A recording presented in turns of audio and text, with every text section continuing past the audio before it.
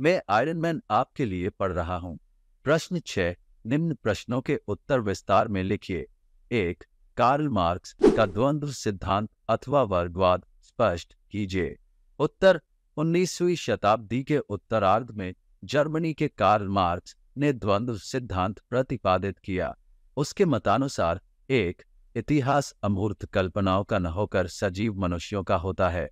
दो मूलभूत आवश्यकताओं की पूर्ति के लिए उपलब्ध उत्पादन साधनों के स्वरूप एवं स्वामित्व पर मनुष्यों के पारस्परिक संबंध निर्भर होते हैं। तीन, समाज के सभी घटकों को समान मात्रा में उत्पादन के साधन नहीं मिलते। उत्पादन संसाधनों के असमान वितरण के कारण समाज के वर्ग पर आधारित विषम विभाजन होने पर वर्ग संघर्ष शुरू होता है।